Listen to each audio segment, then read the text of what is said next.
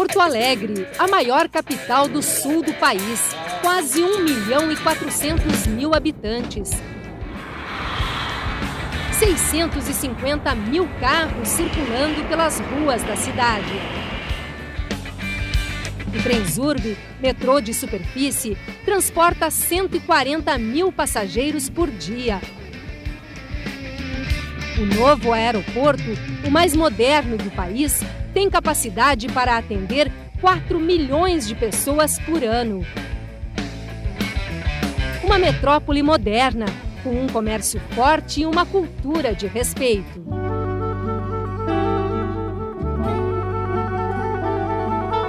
Mas atrás desta Porto Alegre urbana tem o outro lado da cidade, a área dos morros, dos campos e das matas nosso programa vai atravessar essa barreira de concreto e mostrar como vivem e o que fazem os moradores da área rural de Porto Alegre, em lugares próximos ao centro, mas desconhecidos por uma boa parte da população da capital.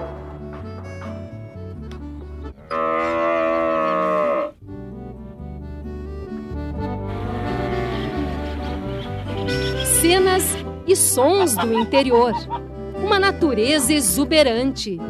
Surpresas de uma cidade que esconde a beleza de uma área verde e rica.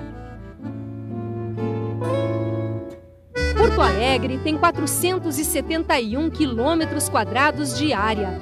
30% deste total são ocupados pela produção agrícola e áreas de preservação. Nenhuma das grandes capitais brasileiras possui área rural tão grande,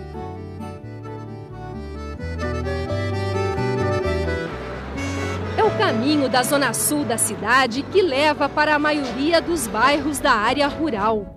São 159 propriedades dedicadas à produção agropecuária e que também comercializam o que produzem.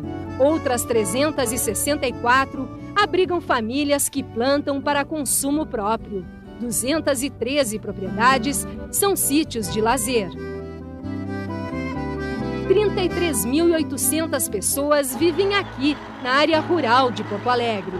São responsáveis por 1,75% do PIB do município.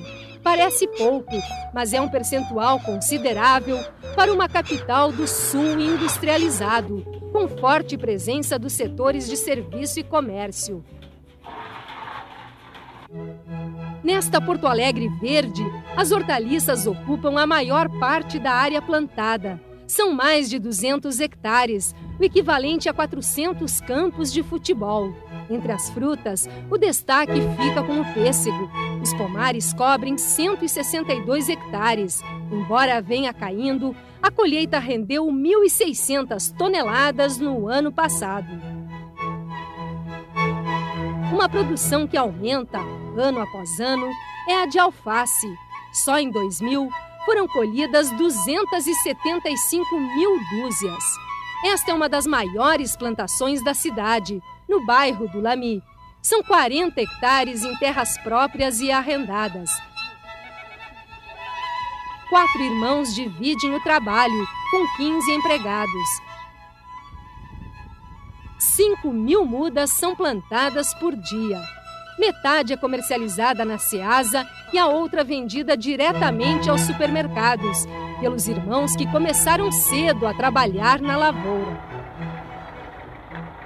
Comecei desde os oito anos trabalhando nessa atividade, o pai sempre trabalhou e eu gosto também de trabalhar na terra e está dando para viver, então nunca pensei em tragar. Por enquanto tá bom assim mesmo.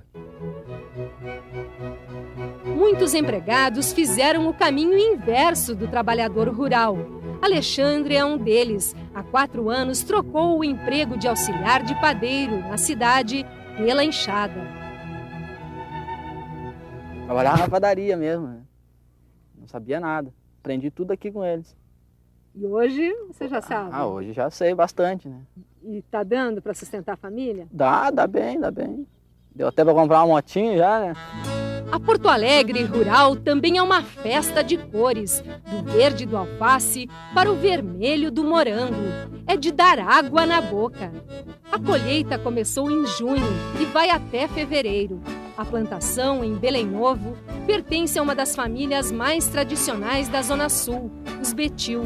Seu Vitório, com 83 anos de idade, conta como tudo começou.